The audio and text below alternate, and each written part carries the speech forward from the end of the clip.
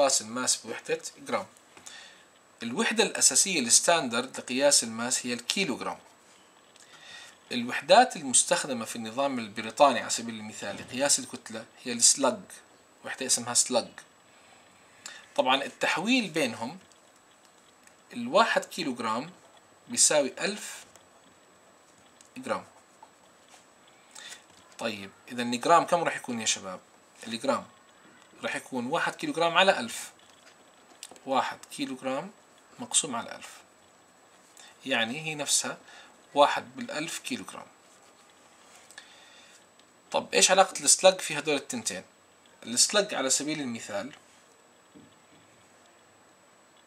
من الوحدات اللي مش كثير مشهورة قيمتها slug أربعتاش الواحد slug بيساوي أربعتاش point تسعة وخمسين كيلو جرام هذا هو التحويل بينهم. طب لو أجانا مثال الآن. المثال بيحكي لنا إنه في عندي density. density الكثافة لمادة ما بتساوي على سبيل المثال ألف ومئتين كيلو جرام لكل متر مكعب. المطلوب إنه إحنا نعبر عن هاي الدنسيتي بوحدة سلج لكل foot مكعب على سبيل المثال. تحول وحدات لوحدات أخرى. ال density الآن ال density يرمز لها بالرمز rho. هيك ال density. فبنحكي ال rho بتساوي 1200 وبكتب الوحدات المعطاة في السؤال كما هي. كيلو جرام لكل متر مكعب. ويساوي 1200 زي ما هي بتضل لكن ببدأ أحول الوحدات للوحدات الأخرى. الكيلو جرام إيش بدي أحط بدالها؟ slug. دي هتصير slug. الآن كل إيش الوحدة الموجودة عندي في السؤال يا شباب؟ الموجود عندنا هو كيلو جرام فأنا بدي أكتب الكيلو جرام بدلالة ال slug إيش بيساوي؟ ال slug هو 14.59 كيلو جرام إذا كيلو جرام نفسه شو راح يكون؟ راح يكون slug مقسوم على هذا المقدار. حتى نخلي الكيلو جرام لوحدها بقسم على المعامل راح يطلع معي slug على 14.59 إذا مكان كيلو جرام شو بعوض؟ بعوض. slug على 14.59 تمام. هيك خلصنا من الكيلو جرام مباشرة معي slug هون. هلا بنيجي على المتر المكعب. المتر المكعب أصلا وين مكان وجوده هو موجود في المقام. خلينا نرتبها ناخذهم حبة حبة. الرو بتساوي 1200 تقسيم 14.59 اللي هي في المقام. سلج صارت هيك جاهزة. وفي عندي في المقام الآن إيش؟ متر تكعيب هلا بدنا نحول المتر لإيش؟ ل foot لقدم. فبروح أدور على العلاقة بين المتر وبين القدم. العلاقة بينهم كانت كالتالي. كل واحد foot بيساوي 0.3048 متر. ال foot هيك بيساوي. طيب الموجود عندنا معطى معنا المتر ولا معطى foot؟ لو معطى foot بعوض قيمته لو بدي أحوله لمتر. بس أنا عندي متر فلازم أكون عارف المتر إيش بيساوي. أنا عندي ال foot إيش بيساوي؟ ال foot يساوي. طب المتر نفسه لوحده بدون الرقم اللي هون المتر كم بيساوي؟ فراح نضطر نكتبها إنه المتر هون بيساوي. بقسم على معامل المتر حتى أصل على قيمة المتر نفسها. هي واحد foot مقسوم على صفر ثلاث صفر أربعة ثمانية هاي علاقة المتر بال foot. المتر هو foot على هذا المقدار. مش ال foot هو آه هذا الرقم ضرب متر. طب المتر هو ال foot مقسوم على هذا الرقم. الآن هي أنا عندي متر هون فبعوض قيمة المتر foot على هذا الرقم. فراح يصفي عنا 1200 مقسوم على 14.59 سلج هي صارت جاهزة ما فيها مشاكل. مقسومة على الآن مكان المتر الواحد اللي هو أصلا عليه إشارة تكعيب راح أعوض هذا المقدار. راح أعوض فوت. مقسومة على ثلاث صفر أربعة ثمانية والكل عليه تكعيب. وزي ما إحنا عارفين مقام المقام هذا هو المقام ومقامه وين راح ينتقل؟ راح ينتقل للبسط فراح يصير عندنا الناتج كالتالي.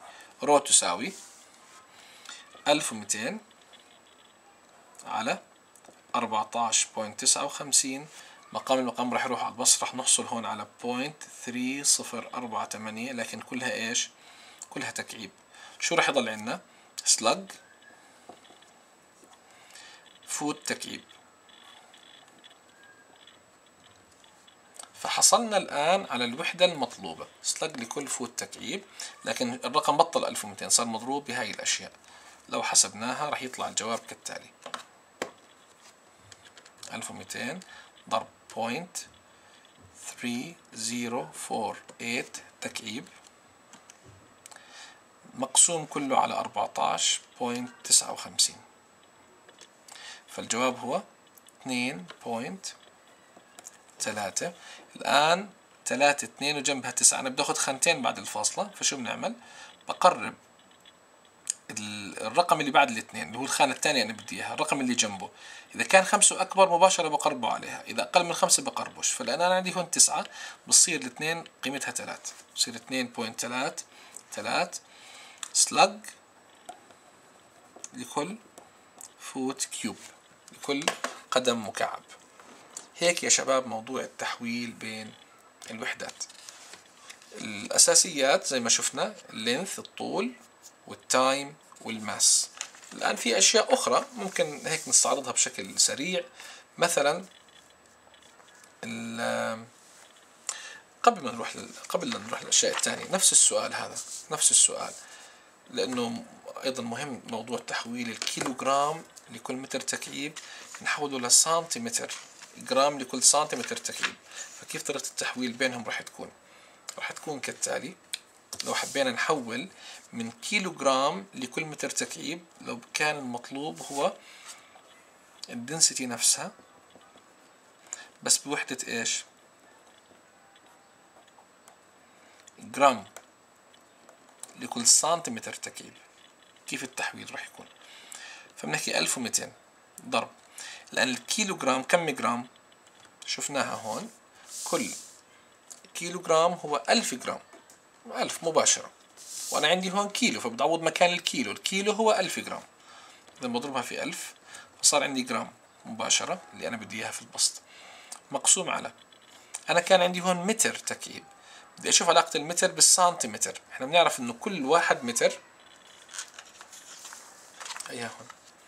السنتيمتر هو واحد بالمية متر. طب المتر إيش رح يكون؟ المتر لو بدنا رح يكون واحد سنتيمتر مقسوم على واحد بالمية. رح يطلع الجواب مية. المتر هو وهذا شيء بديهي معروف إنه المتر هو 100 سنتيمتر. السنتيمتر جزء صغير 100 قطعة منه بشكل لي متر كامل. فكل متر هو 100 سنتيمتر. اذا علاقة المتر بالسنتيمتر هي إني أضرب ب 100 أنا عندي هون متر فبدي أضرب ب 100 فراح تصير إيش؟ 100 سنتيمتر. هذا هو المتر 100 سنتيمتر وعليها إشارة تكعيب. الآن بكعب الناتج فراح يصفي عندي.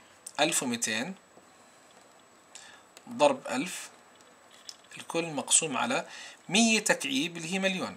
ست أصفار 10 أس 6 سنتيمتر تكعيب. أنا بديها تطلع سنتيمتر تكعيب أصلا وفوق في عندنا جرام. لأن الست أصفار هاي كلها بتروح مع خمس أصفار الموجودين فوق وباثنين بنحركها فبيطلع الجواب واحد point اثنين جرام لكل سنتيمتر تكعيب. إذا كأنه من كيلو جرام لكل متر مكعب. عشان تصير جرام لكل سنتيمتر مكعب كأني بدي أقسم الرقم مباشرة على ألف. بدي أقسم إن ضربت هون بألف وقسمت على مليون فبتروح الألف مع الألف بصفي ثلاث أصفار.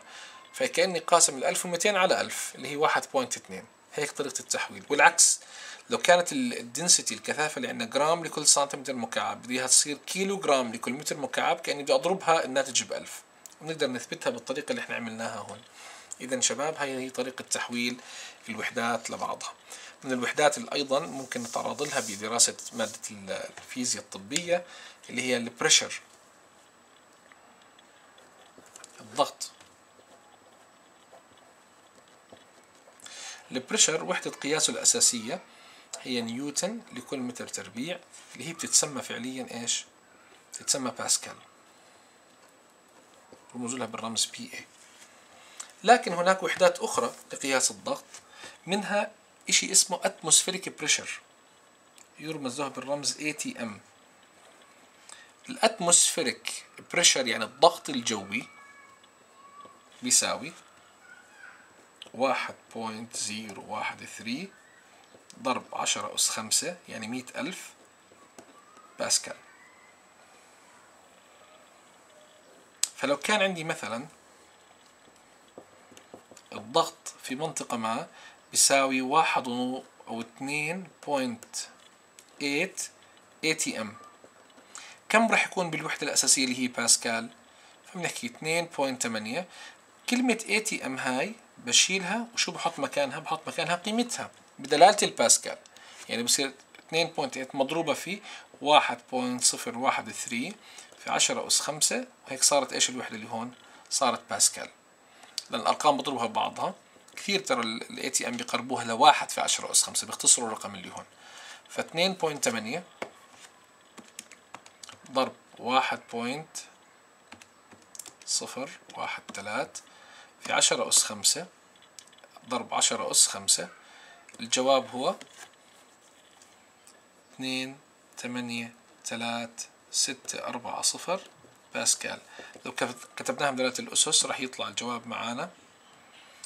اثنين point ثمانية ثلاث. طبعا بنقرب الستة على الثلاث بتصير أربعة بدل ثلاث.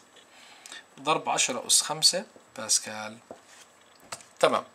إذا هيك بنحسب الضغط.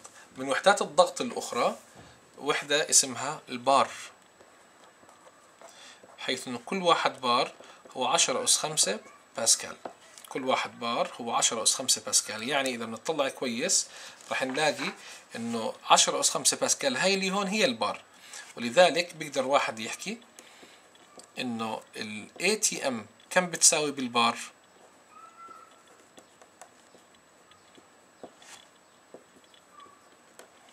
خلينا نشوف. الواحد ATM هو واحد point صفر تلتاش ضرب عشرة أس خمسة باسكال. هاي عشرة أس خمسة باسكال هي قيمة البار. عشرة أس خمسة باسكال هي هي البار. فراح يطلع معانا واحد point صفر تلتاش بار. وهكذا. تحويلات كثير بسيطة. هاي الأشياء الأساسية ولما نكون إن شاء الله نشرح في المواضيع في الفصول اللاحقة كل فصل بنحتاج أو بتظهر فيه تحويلات زي هيك رح نتطرق لها بالتفصيل لما نوصلها إن شاء الله. إذا هذا يا شباب هو بالنسبة لموضوع ال units والتعامل معها. إذا اللي إحنا عملناه لحد الآن ناقشنا موضوع ال dimensions كيف أتأكد أن المعادلات صحيحة.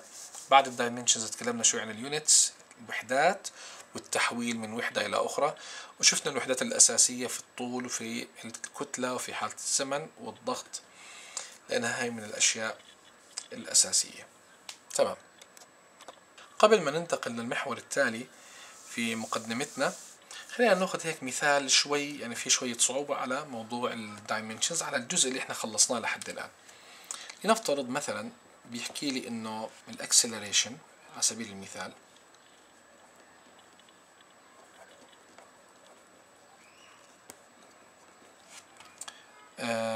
بتناسب proportional مع R. R هي الطول. للقوة N والسرعة السبيد أو الفيلوسيتي للقوة M. المطلوب في السؤال يعني تخيلوا هيك بشكل عام التسارع بتناسب مع R قوة N و V قوة M. Find إيش؟ Find قيمة ال R قيمة ال N عفوا وقيمة ال M. بحيث تطلع المعادلة هاي صحيحة. هلأ إحنا بنعرف إنه إشارة التناسب حتى تتحول لإشارة مساواة لازم أضرب بثابت اسمه ثابت التناسب. بنسميه مثلا C. في R قوة N في V قوة M. فال A هي C ضرب R قوة N ضرب V قوة M. تمام. الآن عشان نعرف قيم ال N وال M أنا بعرف إنه ال R هي طول وال V هي هي speed أو velocity. شو بروح بعمل؟ بروح بشتغل على موضوع ال dimensions فال dimension لل acceleration زي ما شفنا في البداية في أول صفحة كان هو L على T تربيع. الآن هاي بدنا نفصلها راح تصير بهذا الشكل.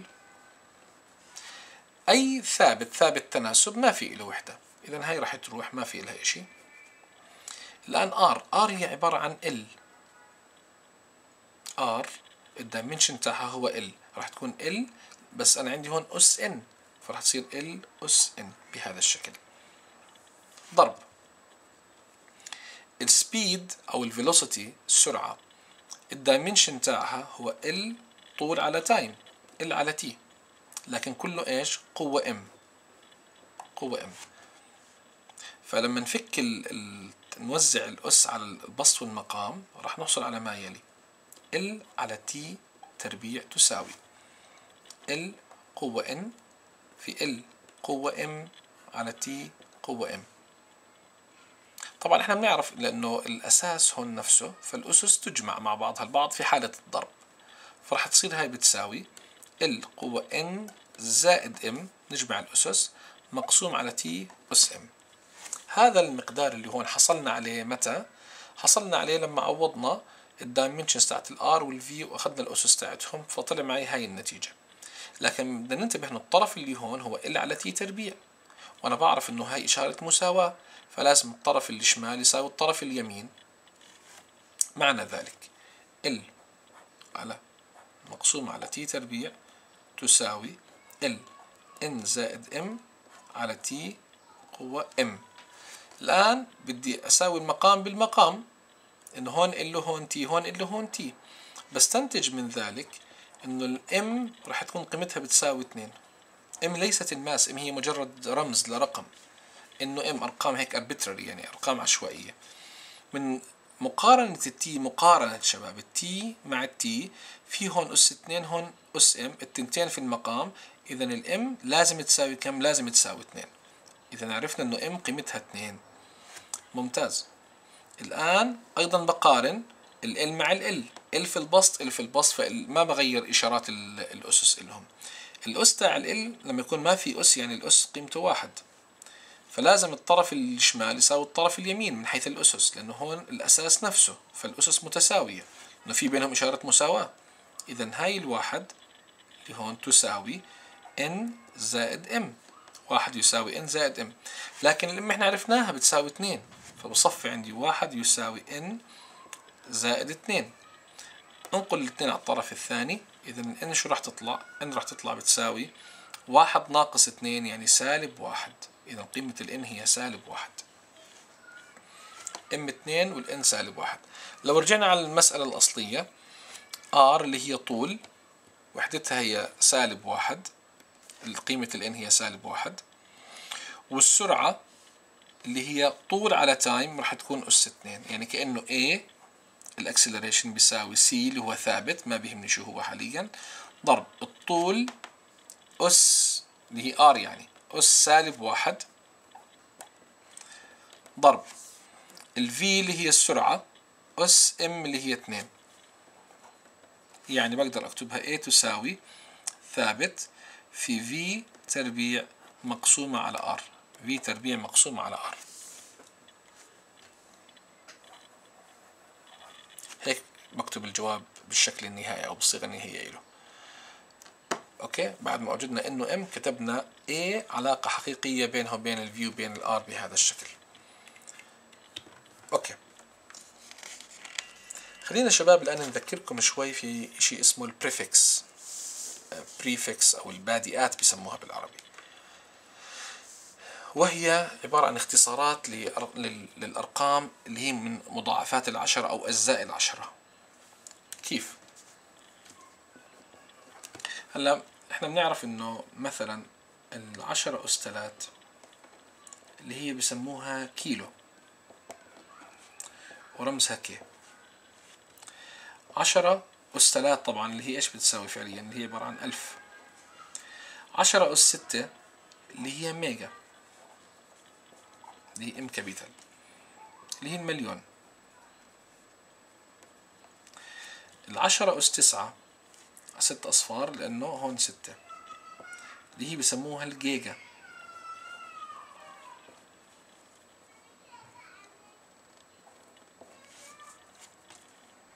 اللي هي تسع أصفار.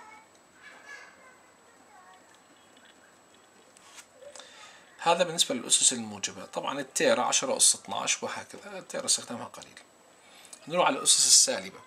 أكثر أس سالب مشهور هو العشرة أس سالب 2 10 أس سالب 2 هي بسموها السنتي. الرمز تاعه سي السنتي معناها واحد على مية هذا بيفسر الأس السالب شو عمل شباب؟ الأس السالب بدل لو كانت عشرة أس موجب اتنين هاي راح تكون مية. عشرة أس سالب اتنين صارت واحد على مية بيقلب الرقم. واحد على مية اللي هي بتنكتب هيك. أيضا. عشرة أس سالب أيضا هاي كتير مشهورة اللي هي الملي. الرمز تاعها إم سمول اللي هي واحد على عشرة أس تلات واحد على ألف. عشرة أس تلات اللي هي ألف. عشرة أس تلات يعني واحد بالألف. رقم كثير صغير. ألف جيب واحد متر مثلا. أو ثانية واحدة أو دينار. إشي وحدة واحدة. وقسمه لألف جزء. هذا الجزء الواحد اسمه ملي. اسمه ملي. اللي هو هيك بنكتب. واحد بالألف. فكأنه الأس السالب معناها إنه في عندي بوينت في عندي فاصلة والرقم بيورجيني كم عدد الخانات اللي بعد الفاصلة. فأنا عندي 10 أس سالب 3 يعني في ثلاث خانات بعد الفاصلة اللي هون. بينما الأس الموجب ما ما في فاصلة أصلا بيورجيني هو قاعد عدد الأصفار الموجودة عندي في السؤال.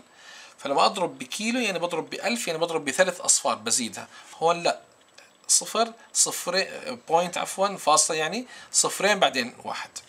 المايكرو على سبيل المثال عشرة أس سالب ستة يسمى مايكرو. مايكرو. الرمز تاعه زي حرف ال U بس في له دنبة من هون. mu اسم هذا الحرف. مايكرو. قيمة المايكرو هي واحد على مليون.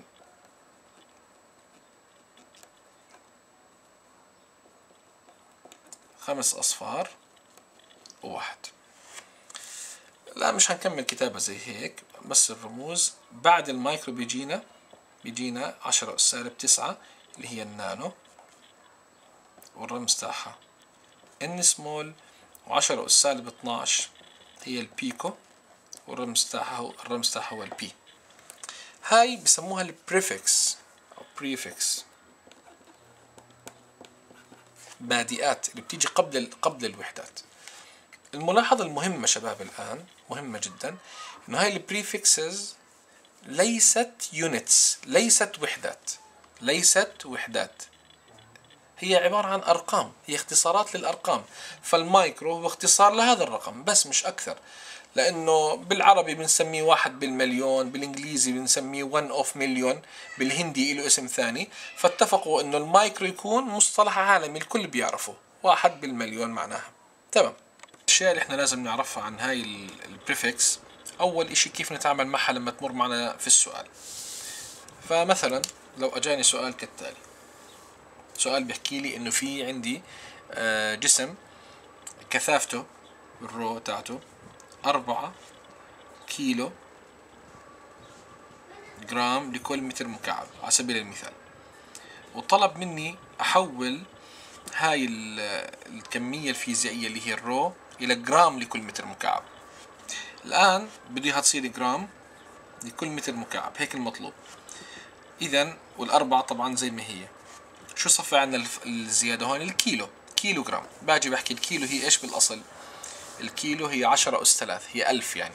عشرة أس ثلاث. فمكان حرف الكي اللي هي كلمة كيلو بعوض عشرة أس ثلاث. فبصير ضرب عشرة أس ثلاث جرام لكل متر مكعب. أربعة آلاف. مثلا أجا واحد بيحكي لي إنه التردد اللي هو ال frequency f بيساوي 12 آه، ميجا هرتز. وطلب مني أعبر عن هاي الوحدة بالهرتز. أو مثلا كان في قانون أنا بدي أستخدم ال frequency فيه التردد. لكن إحنا بنعرف إنه لما نعوض أي كمية فيزيائية في القوانين لازم تكون بالوحدة الأساسية. الوحدة الأساسية لقياس التردد هي الهرتز. ولذلك الميجا هون هي اختصار لكلمة مليون يعني هي 12 مليون بس مش منطق نكتب 12 وجنبها ست أصفار. فعبروا عنها ب 12 ميجا 12 ميجا هرتز. الآن لما نعوضها في المعادلة لازم تكون بوحدة هرتز ولازم أحول الميجا للرقم تبعها. فبنحكي 12 الميجا هي عبارة عن 10 أس 6 10 أس 6 اللي هي الميجا. فبصير 12 ضرب 10 أس 6 هرتز. إذا العملية بسيطة. مثلا Q اللي هي charge الشحنة. الشحنة بتساوي 4 مايكرو كولوم لما نعوض Q بالقوانين لازم تكون بوحدة كولوم وبالتالي المايكرو لازم نرجعها لأصلها قبل الاختصار. المايكرو يا شباب هو 10 أس سالب 6 إذا هاي إيش بتصير؟ بتصير بتساوي 4 ضرب 10 أس سالب 6 اللي هي كلمة مايكرو والوحدة كولوم تنزل زي ما هي. ولذلك بنلاحظ إنه البادئات ليست وحدات. يعني كلمة 10 أس سالب 6 هي عبارة عن رقم رقم بيجي مع الوحدة. الوحدة هي الكولوم. الكولوم هي وحدة قياس الشحنة. بس المايكرو ليس وحدة. المايكرو عبارة عن اختصار لرقم. اختصار للواحد بالمليون مش أكثر من هيك. تمام. آه مثلا أجا واحد حكى لي إنه المسافة بين نقطتين بتساوي ثلاث ملي متر.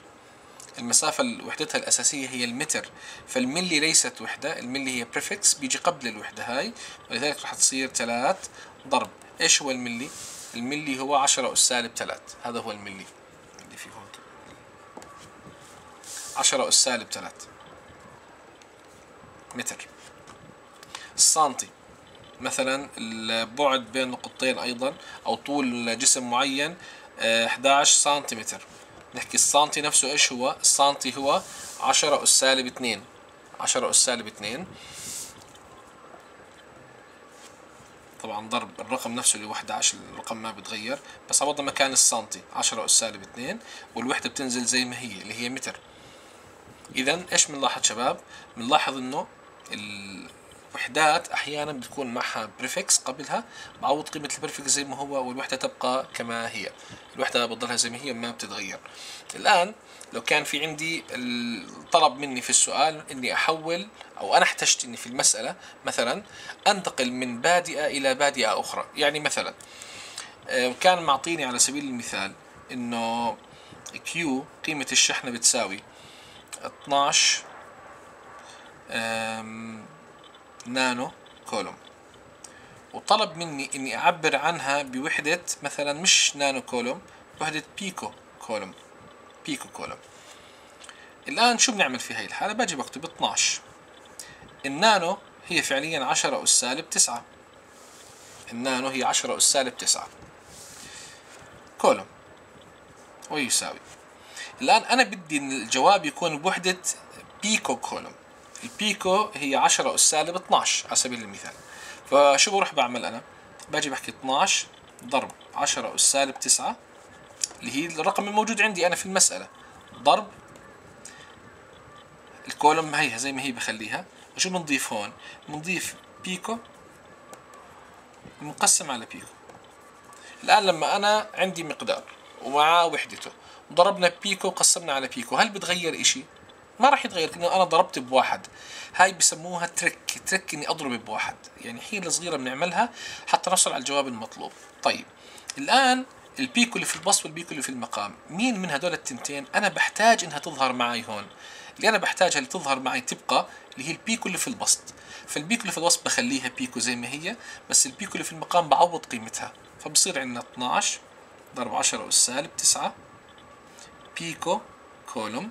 بيكو كولوم بس البيكو اللي في المقام نعوض قيمتها. كم قيمة البيكو هاي؟ هي 10 أس سالب 12 هاي البيكو 10 أس سالب 12 وفي بيكو في البسط زيها يعني يفترض يلغوا بعض ويرجع المقدار زي ما كان.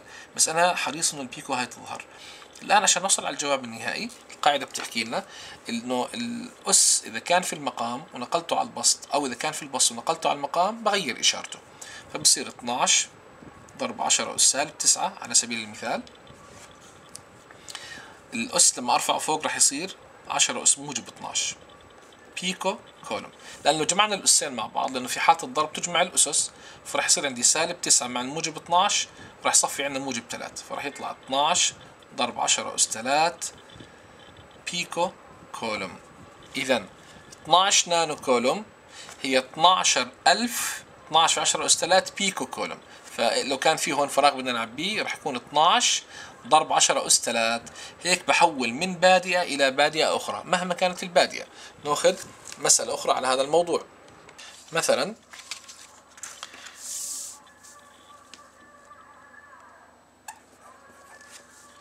القوة ال force مثلا بتساوي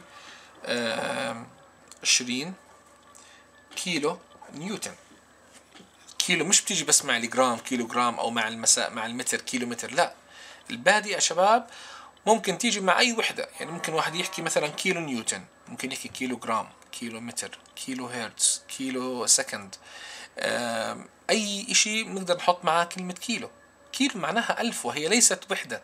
ولذلك أي وحدة في الدنيا نيوتن أو غيرها بيجي معها البادئة اللي هي كيلو أو غيرها أي بادئة بدنا إياها. بدنا نحول 20 كيلو نيوتن مثلا لرقم هون بس بديها تصير على سبيل المثال بالمايكرو نيوتن كم ال 20 كيلو نيوتن كم مايكرو نيوتن كيف التحويل بصير؟ طيب الآن نحكي ال 20 كيلو نيوتن تتفصل كالتالي. 20 بنزلها زي ما هي. كلمة كيلو بعوض قيمتها. الكيلو هي 10 أس 3 يعني 1000 فبكتب 10 أس 3 نيوتن. إذا أنا شو عملت هون؟ بس عوضنا مكان الكيلو 10 أس 3 بعدين هي 20 وهي 10 أس 3 وهي كلمة نيوتن. إيش هي البادئة اللي أنا بدي أضيفها اللي بدي الجواب يطلع فيها؟ البادئة بدها تكون مايكرو. فبضيف هون مايكرو وتحت بنضيف هون مايكرو. التنتين. عشان ما يتغير الرقم لأنه أنا إذا ضفت مايكرو في البسط لحالها كأني ضربت العدد برقم ثاني فراح يكون هذا جواب مختلف. أنا بدي المقدار اللي عندي ما يتغير فبدي أضربه بواحد. الواحد هذا كيف؟ مايكرو على مايكرو. آه اثنين على اثنين سبعة على سبعة. ما بتغير إشي. المايكرو اللي في البسط بدي إياها تضلها زي ما هي. مايكرو عشان تطلع مع الجواب تطلع بالصورة النهائية للناتج. المايكرو في المقام لا بدها تدخل مع الرقم اللي هون فبعوض قيمة المايكرو اللي في المقام. فبصير عشرين ضرب عشرة أس تلات مايكرو نيوتن على. المايكرو اللي تحت هي عشرة أس سالب ستة. عشرة أس سالب ستة. لما ننقل هذا الأس للبسط رح يصير إشارته بدل سالب إشارة موجبة. بالتالي رح نوصل على عشرين ضرب عشرة أس تلات ضرب عشرة أس ستة مايكرو نيوتن. الآن في حالة الضرب تجمع الأسس فرح نحصل على عشرين ضرب عشرة أس تلات مع الستة تسعة مايكرو نيوتن. إذا يا شباب العشرين كيلو نيوتن هي نفسها عشرين ضرب عشرة أس تسعة يعني مليار مايكرو نيوتن. العشرين كيلو هي عشرين مليار مايكرو. أوكي. هاي يا شباب هي طريقة تحويل البادئات لبعضها. الآن خلينا شوي نتكلم عن موضوع الأسس الباور بسموها. يعني مثلا 10 to the power 2 يعني 10 أس 2 الأسس بالعربي. أه نعطيكم زي هيك مراجعة هيك سريعة إلها وبعض القواعد المتعلقة فيها وكيف نحول الأسس أو نحرك الفواصل وهكذا. على سبيل المثال نبدأ بالقاعدة البسيطة التالية 10 أس 0 10 أس 0 أي رقم في الدنيا أس صفر الجواب هو واحد. إلا الصفر. صفر أس صفر هي كمية غير معرفة. أما 10 أس صفر فالناتج هو واحد. طبعا أنا في حالة الأسس هون مش راح أتعامل مع الأساس غير العشرة. دائما الرقم اللي تحت آه هون مثلا بي هذا اللي هون بسموه آه الأساس اللي هو ال base. هذا بسموه الأس. اللي هو ال power الأساس والأس. الأساس والأس. فلما نحكي مثلا اثنين أس ثلاث فاثنين هي ال base والثلاثة هي الأس.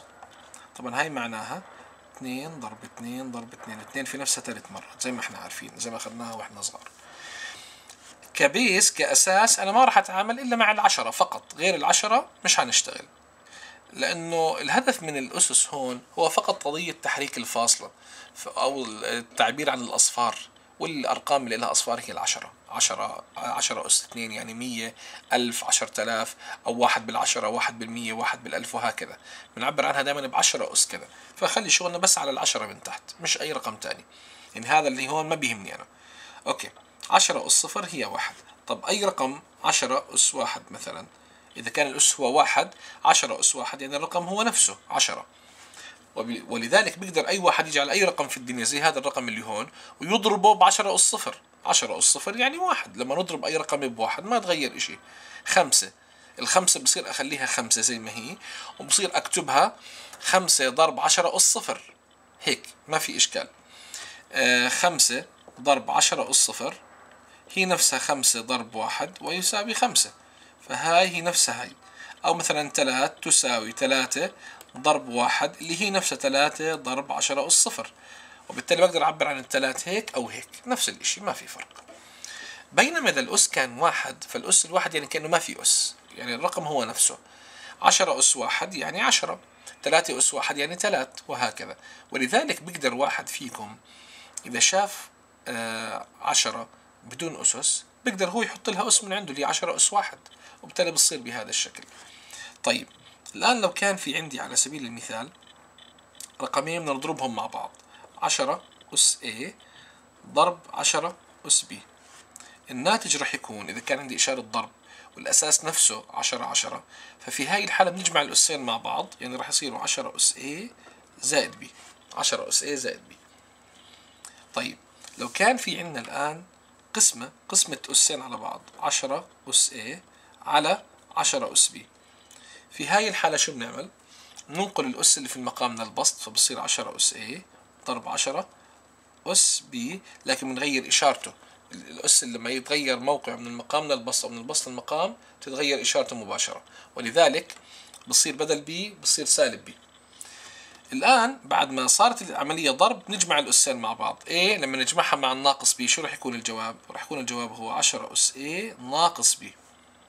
وكأنه باختصار كأنه باختصار بنقدر نحكي في حالة القسمة نطرح الأس اللي فوق ناقص اللي تحت A ناقص B A ناقص B.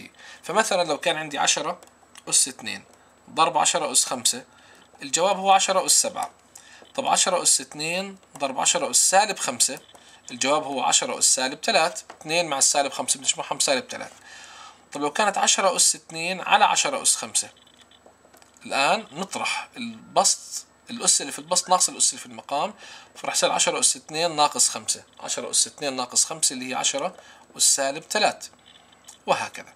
إذا في حالة إيش؟ القسمة بنطرح الأسس طب 10 أس 2 على 10 أس سالب 5 بصير 10 أس 2 ناقص الناقص 5 بصير زائد الإشارة يعني 10 أس 7 وهكذا. هذا في حالة إيش؟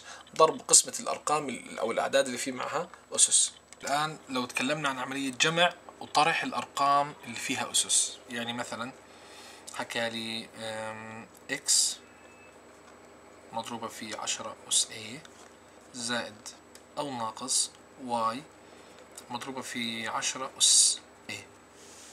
نلاحظ هون إن الأس نفسه مشترك عشرة أس A عشرة أس A لكن X و Y بيختلفوا عن بعض وبينهم إشارة جمع أو طرح. في هاي الحالة وفقط إذا كانت الأسس متماثلة الأس والأساس متماثلات بقدر أخذ الأس عامل مشترك عشرة أس A بضلها زي ما هي وبنجمع أو بنطرح حسب الإشارة الأرقام اللي مع هاي الأسس X زائد أو ناقص Y. إذا عشان نجمع أو نطرح رقمين فيهم أو عددين فيهم أسس لابد أنه يكون في عندي الأس له مشترك بينهم. يعني الأساس نفسه والأس هو نفسه. مثلا اثنين ضرب عشرة أس سالب أربعة ناقص ثلاثة ضرب عشرة أس ناقص أربعة. هاي العملية بنقدر نعملها بسهولة لأنه الأسس متشابهة فباخذ الرقم مع الرقم اثنين ناقص ثلاث راح يعطينا سالب واحد سالب واحد ضرب عشرة أس سالب أربعة. تمام. الآن لو كان في عندي مثلا X زائد ضرب هون الأول عشرة أس A زائد أو ناقص Y مضروبة في عشرة أس B الأسس مختلفة. في هاي الحالة ما بقدر أعمل زي هيك ما بصير. في الضرب لاحظوا الأسس مختلفة. ضرب القسمة الأسس A و B مع هيك بجمع الأسس أو بنطرحها مع بعض وانتهت المشكلة. أما في حالة الجمع أو الطرح لا. لازم الأس يكون نفسه. عشرة أس A عشرة أس A هون A وهون A. سالب أربعة سالب أربعة. أما إذا كان الأسس مختلفة فهذا راح يعطيني ناتج